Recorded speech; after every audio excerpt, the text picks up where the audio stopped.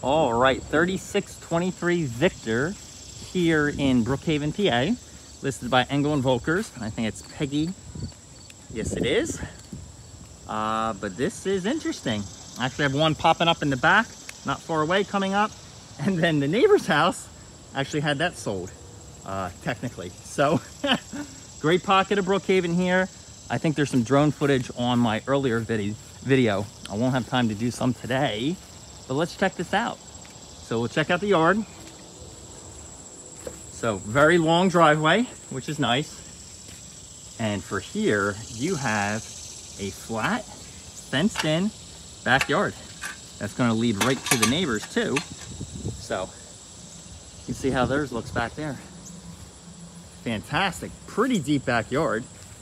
I'm just gonna go about halfway, show you that shed and spin around here. But look at that. So back entrance, AC unit there. And let's see, yep. Looks like there's a place for a hose. Some older siding there. We'll look at the disclosure. Looks like they might have had an off-peak meter at some point in time. But there you are. So decent side yard here as well. You see the construction for the foundation. There you are. So gutters look newer, roof looks newer too. Again, we'll always consult the disclosure and everything I say in this video is, is my own personal opinion. But there you go, very simple and nice, white. You have the brick in the front and there you are. So let's head on inside. I do see a, a big bow window. So in we go, hand sanitizer, glove, mask, still uh, going that route. So hardwood floors, looks like a, an oh, very light gray. Probably uh, just recently had this painted. Newer windows for the most part. They are vinyl and double clasp. It says vinyl guard. But there you are. It's a real open space. And uh, remember, there's, there's gonna be one coming up in the back there too. Momentarily. So no fridge with this one as it stands.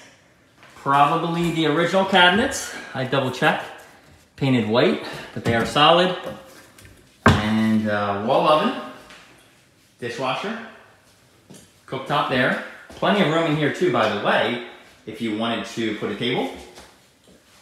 Looks like they updated what they have here. Now this is cool, so this walks out to the backyard. So I'm gonna spin you around, just so you get the essence of how large this is. And see the hardwood floors throughout. All right, nice little coat closet. By the way, too, I'll spin around. They did add attic access. So you pull down, you have access to the attic. That's nice. Many of these just simply have it in one of the bedroom closets, but not this one. So here you go. Bathroom looks updated as well. And then one, two, and three bedrooms. So here it is. Oh, that's cool. Very cool. Yeah. So the closet actually bumps out from the footprint of the house right there. You can see it. So good sized room here for what I'm gonna call bedroom number one. A bedroom number two, bigger than that bedroom. Looks like you have double closets here. I have an echo too. and then bedroom number three. So you see the hardwoods, what they look like. Closet over there. Let's see what it is as far as the size. Oh, and there's your access panel or area for the shower. And there's your backyard. So that is the quick rundown here. Let's show off that bathroom. So updated floor, I believe that's vinyl plank, double sink, updated toilet, and updated walls in here. Probably the original tub. Looks nice, neat, and clean. You know, if somebody wanted the color change, they do have people that will coat them. Um, so there you are. Again, looks like a newer toilet. And there you go. So that is the upstairs. And uh, I did not see this one yet, so I believe the basement's a full basement, and that's one of the benefits here. It is quite large and should have a half bathroom, but let's see it first. So down we go. It was finished, carpet and paneling. This should just be the closet under there, under the stairs. Spin you around.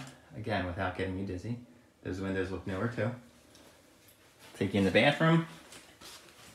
Half bathroom, but all proper draining there, so nothing's lifted up. Sometimes they do that on a basement.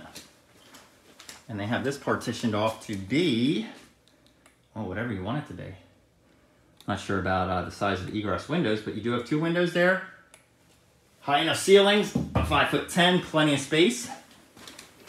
Again, my opinion, and a closet. Look at that. One of those cool little push button ones when they're plugged in. All right. Very nice. So remember, some people may consider this a four bedroom, the way it's set up. Now you have this entire area that is unfinished and it is open. Wow. There's your oil tank. There's the floor they actually used. Vinyl plank flooring. All right. Well, there you go.